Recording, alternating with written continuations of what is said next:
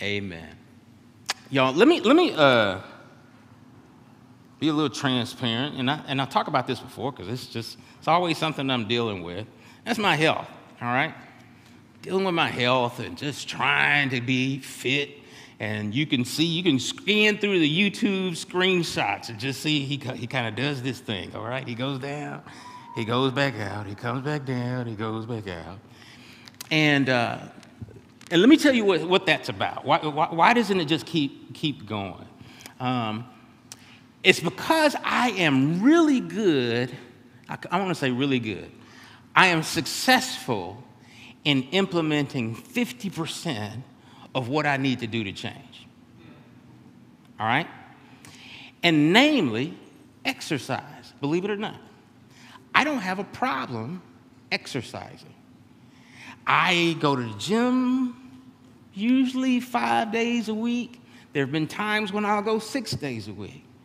And I've done different things. And, and, and you can see the change when it's happening, when I'm really consistent with it.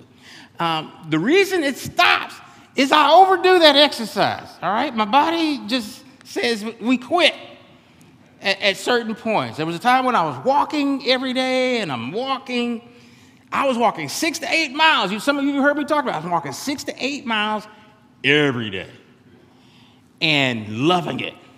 It wasn't a labor. Matter of fact, I felt bad when I didn't go walk, and my body says, "Stop."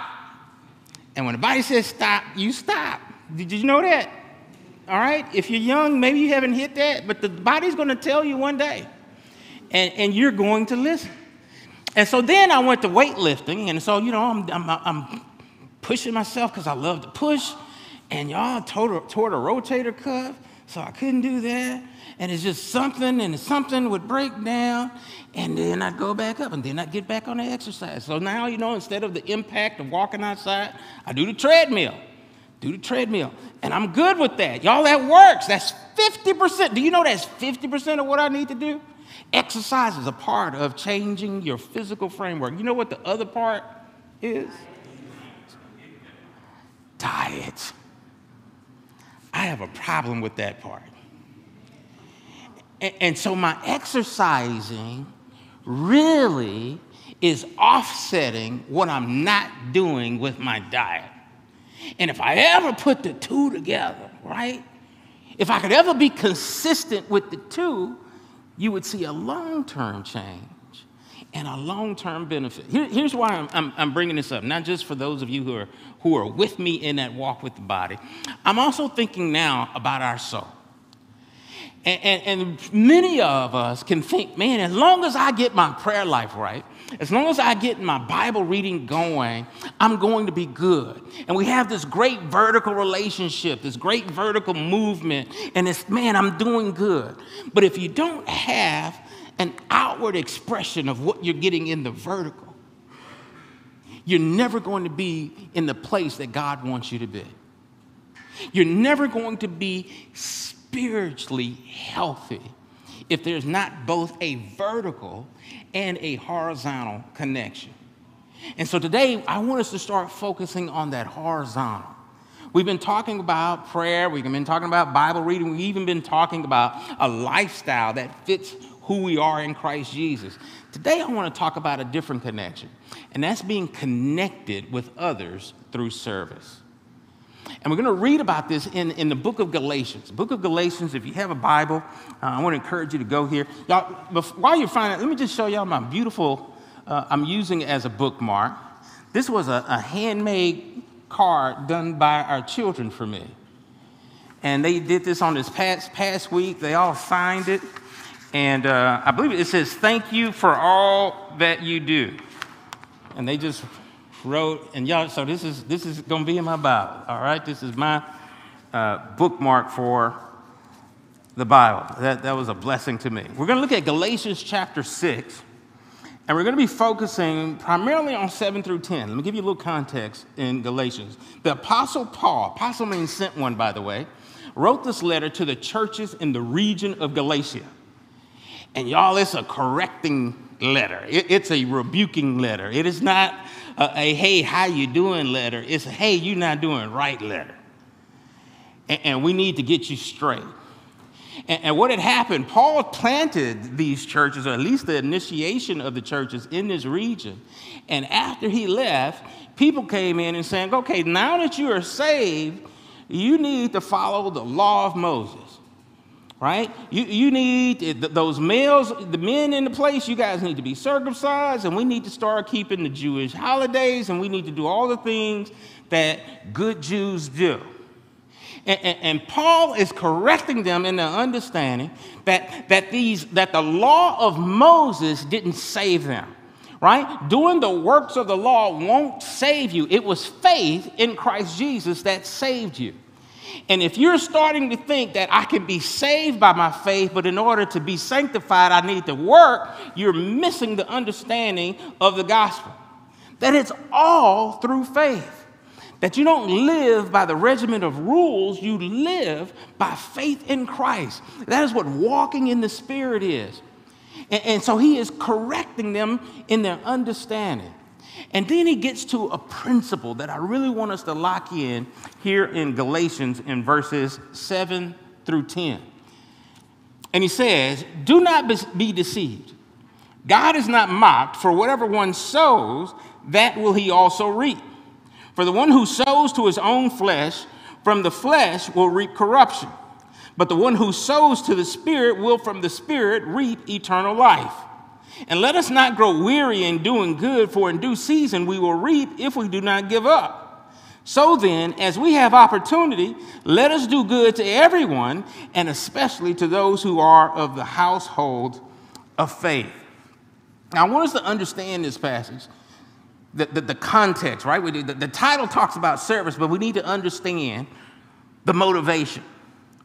And, and the Apostle Paul is talking about a principle, and he's using an agricultural, uh, I guess, metaphor to talk about this principle of, sowing and reaping, right? Planting and caring, and the harvest that comes from that. And here's what the, the thing that he's saying that we need to lock in. First of all, that everybody is sowing. Everybody is sowing. Everybody is, is planting and caring and nurturing, right? You use your energies, your time. Uh, all of this stuff is going into something. And he's saying it's into one or two of two places.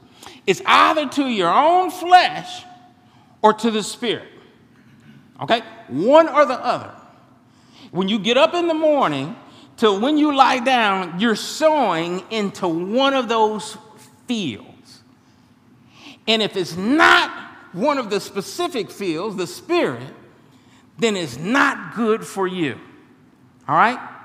That's the principle. You may not understand it, but this is the idea.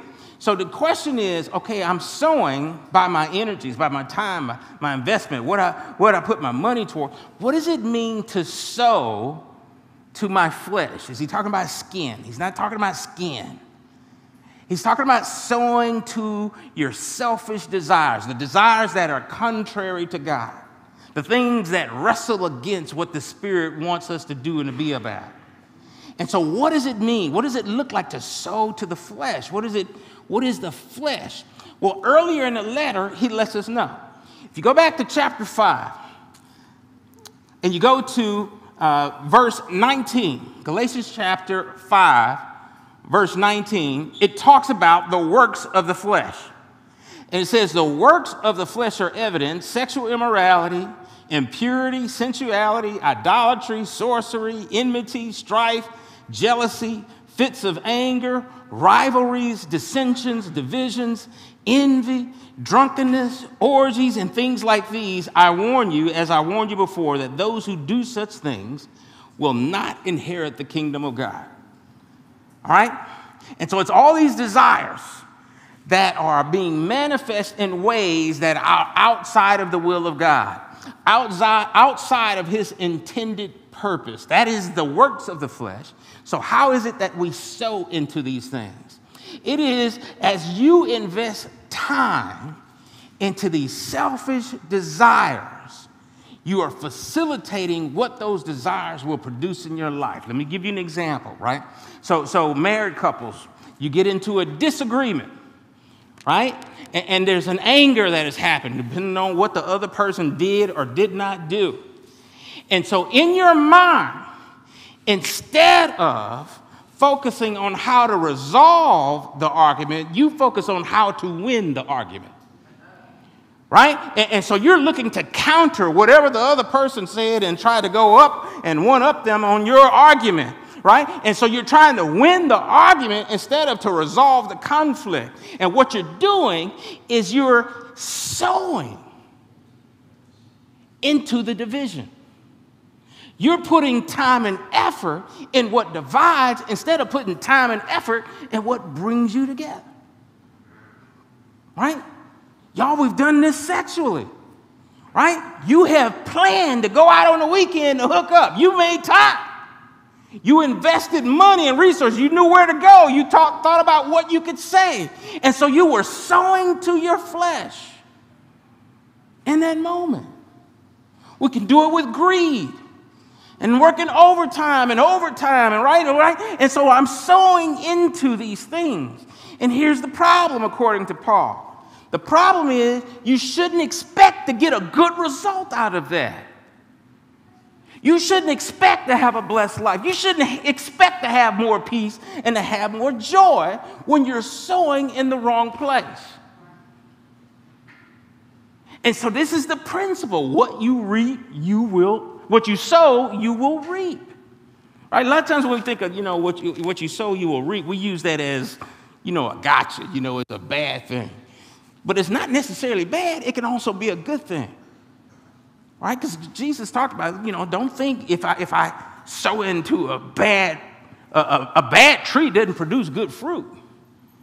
You know, you, you don't sow grape seeds and get a bramble bush. You don't sow a fig seed and get thorn bushes. No, no. Bad seed produces bad fruit. Good seed produces good fruit. And Paul is kind of using that same analogy in sowing into the right place. And so he's encouraging them instead of sowing to your flesh, sow to the spirit. What, what does that mean? How do I even do that? I know how to sow to the flesh. How do I sow to the spirit? Well, let's understand things of the spirit. Same letter, Galatians chapter 5. We're going to look at what's called the fruit of the Spirit. Verse 22, 522 says, But the fruit of the Spirit is love, joy, peace, patience, kindness, goodness, faithfulness, gentleness, self control. Against such things there is no law. And those who belong to Christ Jesus have crucified the flesh with its passions and desires. Verse 25, listen to this. If we live by the Spirit, let us also keep in step with the Spirit. What does that mean? It says instead of putting your energy, your, your time, your thoughts into things that don't, won't do you any good, put your energy, time, thought into what will. And, and if the Spirit produces love, let me be thinking more about loving. If the Spirit uh, uh, produces goodness, let me do more good. That is sowing to the Spirit. Hence, the response to this principle of, of you know, the sowing to the Spirit, he says in the end of our focal passage, do good to everybody. Y'all remember that? Galatians 6:10, especially to the household of faith. And so here's the thing I want you to remember. I'm, I'm, I'm trying to get you just with the foundation of the passage. That here's the thing I want you to remember that doing good for others is good for you. That's in essence what he's saying. How do we know it's good? We know it's good by what it produces. Sowing to the flesh produces something corruption. Corruption. A messed up life a decaying life. And sowing to the Spirit produces eternal life. It, it, it's not a secret. If I'm spending more time on trying to win the argument, I am not helping my relationship. I am corrupting my relationship. But if I am so focusing on loving rather than living, rather than uh, winning the argument, then I am now looking to reap more of the harvest of that love, which is the life that God has called us to. Y'all, eternal life is not just what happens to you uh, when you go to heaven. When, when you believe in Jesus Christ, in that moment, you get eternal life. You are a new creature. It's not so much about the time, because everybody exists eternally, it's about the nature of that existence. Apart from Jesus Christ, people live, but they're actually dead. The, the, the, nature of that living from God's perspective is no life. That's why Jesus says, I've come that you might have life and have it more abundantly. Uh, I remember a great uh, quote from the late Adrian Rogers. He talked about the things that people do in this world and the desires when we're living according to the flesh and the things that we go to and give ourselves to over and over again. He says that's really the manifestation of dead people trying to feel alive. I want you to think about the things we used to enjoy going to and doing on the weekends and all that, and we thought that was living. And it was just manifestation of our deadness. It is only when we start loving, it is only when we start facilitating peace, it is only when we're encouraging joy, these things that the Spirit produces, that we're now walking in this eternal life that God has blessed us to have. And so, so if you want less corruption in your life and more of the blessing that Christ died and rose again to give you in your life, you need to sow to the Spirit. And Apostle Paul says one of the ways you sow to the Spirit is doing good to others. Just serving. Just blessing, that it's good for you. Now, all of us, like I say, have a problem doing what's good for us. I talked about you, you know, earlier about my issues with eating, y'all. There's things I like to eat and there's things I don't like to eat. And vegetables I do not like to eat. Now, part of my fast, I'm gonna tell you what part of my fast was. It was to eat the frozen vegetables in my freezer. They have been there since I've had that freezer.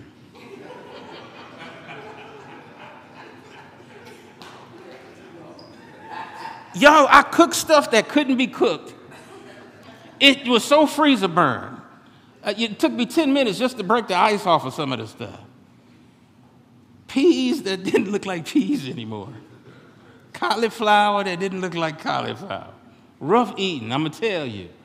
But it's because I, didn't, I don't like the taste, right? It's not good to me. But often the goods that are good for me aren't necessarily good to me. Right? If you focus on what's good to me, you're going to gravitate to things that's not good for me. Y'all follow what I'm saying with this? I want you to think about it. every addiction. Almost every addiction begins in recreation. I want you to think about that. Right? It starts out fun. It's good to me. It's something that brings me joy and puts a smile on my face, and I engage in it and I enjoy. And then it starts to control and to corrupt. But the things that are good for you only bless you for the long run. And the Bible tells us that doing good for others is one of those things that's good for you, that you can expect a good harvest from doing. Some of you are aware about a local pastor. I'm not going to name his name, but he really said something uh, that was just, just wrong. And he was preaching to his church that giving to the poor doesn't bless you. What he said was the only thing you can expect if you give to the poor is to get back what you've given. You don't get more. He says the only way you're going to give and get more is to give to the church. Right? And so he was focusing on tithes, and people were amen. And, and y'all, there's, there's, I think it's Proverbs, is it 1917, ex- explicitly says the opposite of what he says. But this passage does as well. You reap what you sow, and, and you are blessed by being a blessing. And it's not a man made thing, it's what the Word of God says. And so it's great to give to your church, but don't just give to your church. Right? In our church, I think we excel, I think. I, am I'm, I'm not one of those that's complaining. Let me just tell you that. I think we do very well in generosity within the church. I think we do well in regards to people serving. We have a high percentage of people that avail them their, their time in some kind of way to benefit the other people that come together. But I want us to expand that and to not just serve in the household of faith, but also to serve those beyond the household of faith. Why? Because it's good for you. It is part of the reason why God saved you. God invested in a whole lot to not just obtain you, but to utilize you. I was watching um, on, I think it was Instagram, one of the reels came up was a woman who was a hairstylist. And she had her husband sitting in, in, in, in her chair, and she had a pair of, of, scissors. And she was asking her husband, How much you think these scissors cost? And so, you know, he knew the fact that there's a camera there and he's being asked, you know, these are probably some special scissors. So he says, I don't know, 250 $250. She said, Higher. He said, $500. She said, higher. It, it, the look on his face changed. He said, a thousand dollars? She said, higher. He said, you kidding me? 1500 higher. 1800 higher. She said the price of those scissors were $2,200. $2,200. I had to ask my own barber, is that real? Was that made up? He said, no, no, those are probably really high quality shears. And she must do a lot of clipping and wanted high quality shears to do those cuts and those trims. That's a real thing. And here's my question though to you Can you imagine paying $2,200 for scissors? They scissors is me. And not use it on somebody's head? Right? What if you put it in a nice box and displayed it? Man, you know, I have these expensive shears. And they can do wonders, and they're sharp, and they don't dull, and they're great. And we keep it in the box, don't touch it. How wasteful would that be? To invest so much and never apply it. How wear those shears? And God wants us out the box and being used to make a change with people. And so you have to do that. The same way we could plan how to do the wrong thing, we can plan to do good things. So much of what we did, and so much of even what we do now, is investing in who we used to be. Instead of investing in who we will be. And so I want to encourage you to start sowing to the Spirit. And to do that by doing good to others and expecting to reap a harvest of eternal life, the life that God has deposited in you and the blessings that come with that life. Does it get tiring? The text lets us know it gets tiring, that it can be exhausting, that it can be expensive, but it will never leave you in a deficit. It says, Don't be weary in doing good, for in due season you'll reap just because the season isn't right now, that just means it's not due season. Right? There's a season when I want things to manifest in my life. There's a time when I really want it. But just because it doesn't happen at that time, don't think it's not coming. Y'all was reading about grape seeds. and planting grape seeds. And if you plant grapes, first, first of all, you can't use grapes from the store because they may not ever do anything.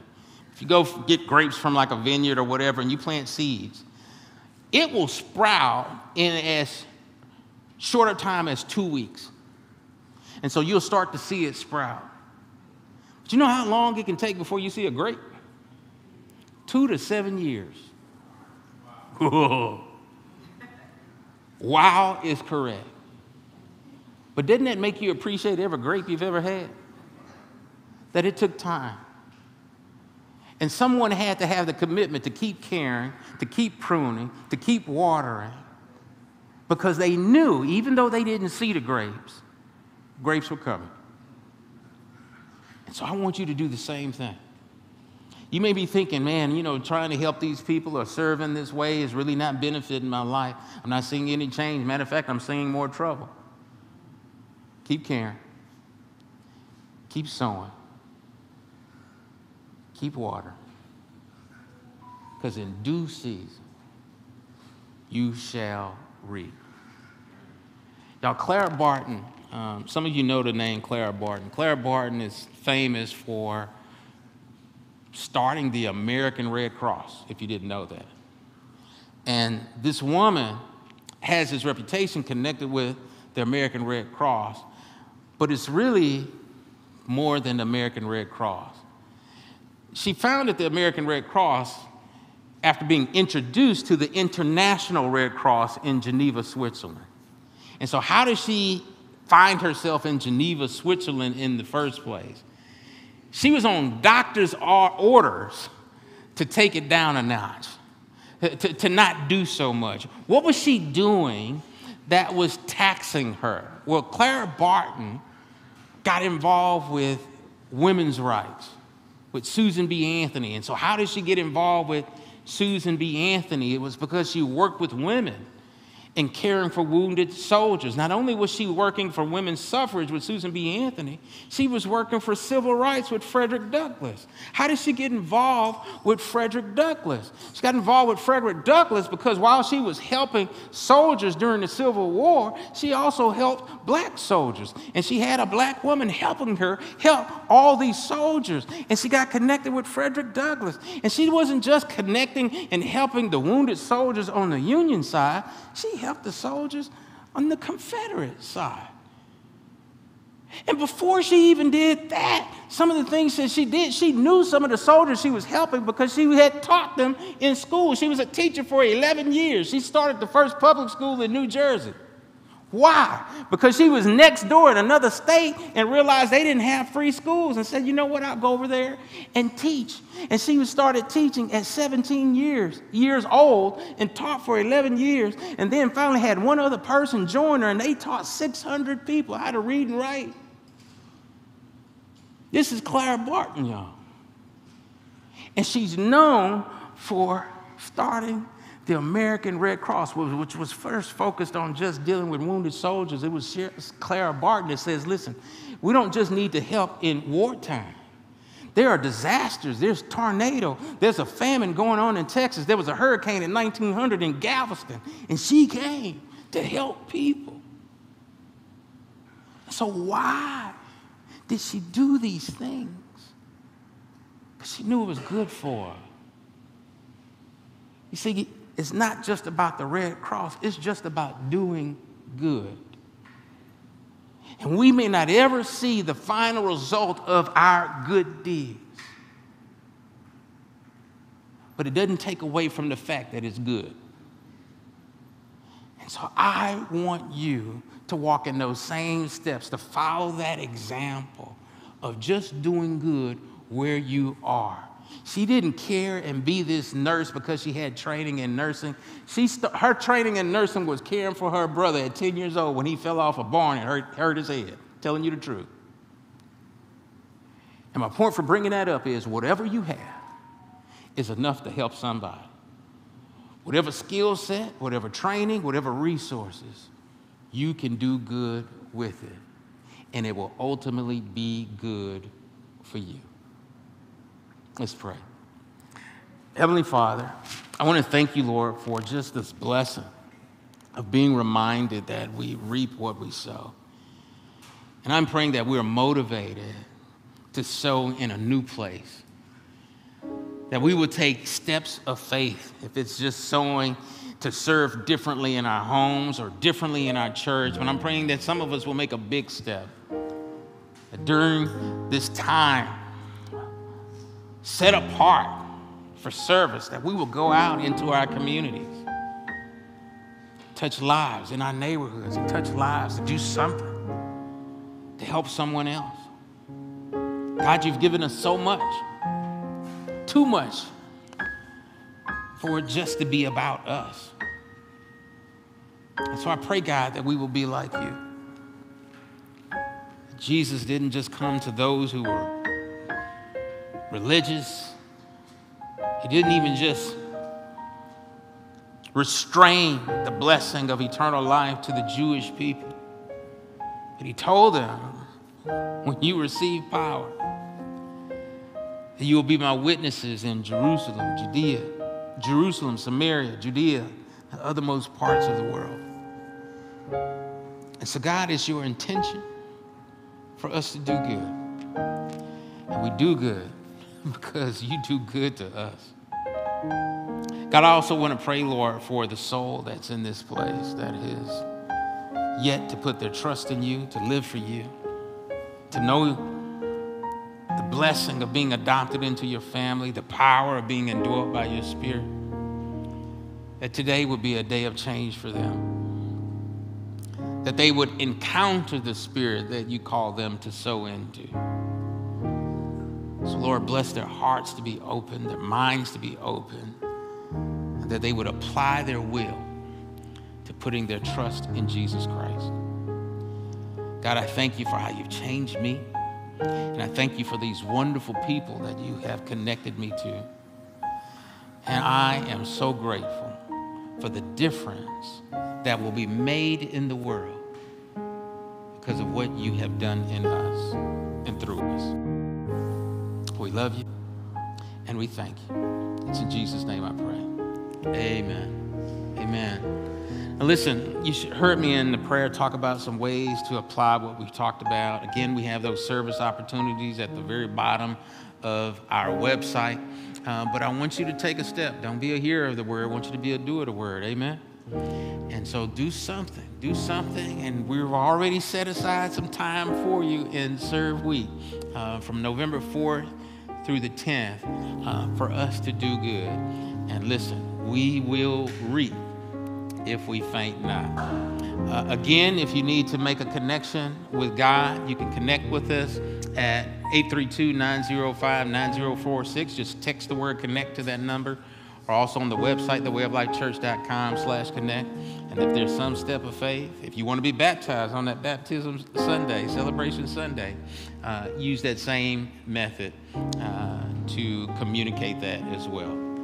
Well, listen, gals, uh, we have we only have a couple of more weeks. We have one more sermon next Sunday. The following Sunday, we won't be gathered. We'll be serving. And then our celebration Sunday will be following that on the 17th. So we're almost there. And so if you're getting weak and kind of tapered off in some of your reading, you're praying, you're serving, listen, we can always get back up and going again. All right? Let's pray. Heavenly Father, thank you, Lord, for this day. Thank you for your truth. Thank you for the opportunity to celebrate your goodness, to worship you. Uh, Lord, may you be pleased as we walk out our faith, not just talking about it, but walking it out. It is for your glory. And you tell us it's also for our good. And so we just thank you for that. It's in Jesus' name we pray. Amen. Have a wonderful day in the Lord. Yeah.